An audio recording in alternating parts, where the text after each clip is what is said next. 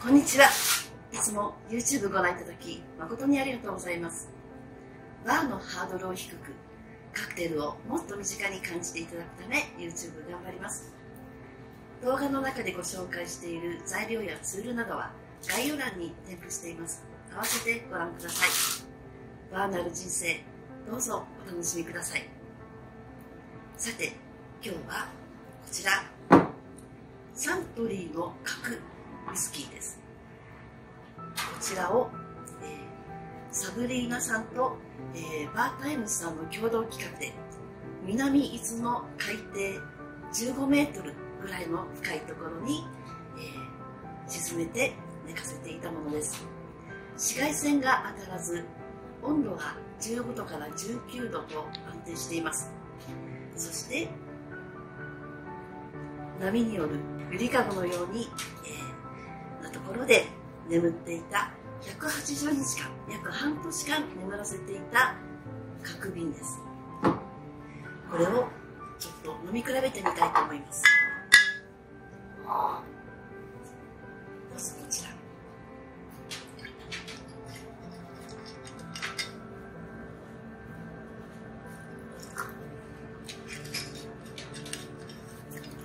海水が入ってしまわないようにしっかりコーティングされていました。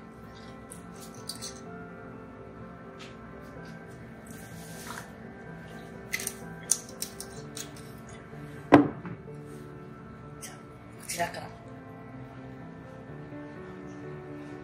柔らかいくなってます。こちらはそうですね。ちゃんとこうアルコールの元気さが漂ってきます。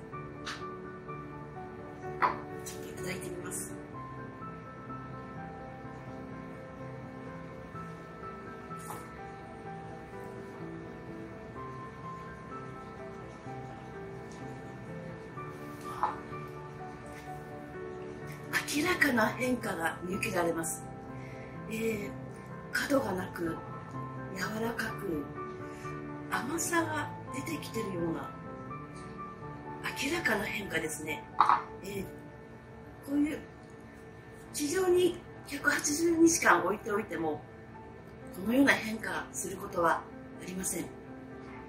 海の底海底で静かに売られていたウイスキーは半年でこんなにも変化するのかと驚きです。とても柔らかくなってこれはもうハイボールソーダ割りにするよりもストレートで召し上がっていただきたいです。ただ丸くなっただけではなく奥行きも深くなったように感じます。母なる大会そして包み込まれるような慈愛を感じます。海の大きな懐に入れ替えて